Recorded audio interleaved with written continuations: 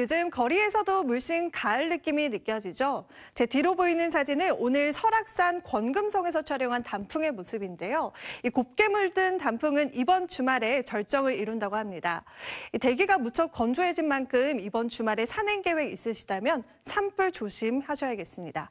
밤사이 약한 기압골이 통과하면서 수도권과 영서 북부, 충남 서해안과 제주도에는 비가 조금 내리겠습니다. 하지만 내일 아침부터는 차츰 맑아지겠고 이번 주말은 고기압의 영향으로 전국에서 대체로 쾌청한 가을 날씨를 보이겠습니다. 내일 낮부터는 기온이 크게 오르겠습니다. 서울의 낮 기온 19도가 예상되고요. 남부지방도 대구와 광주가 21도까지 올라 오늘보다 3, 4도가 오르겠고 일교차는 여전히 크게 나겠습니다. 당분간 대체로 맑다가 다음 주 수요일에는 전국 대부분 지역에 비 소식이 나와 있습니다. 날씨였습니다.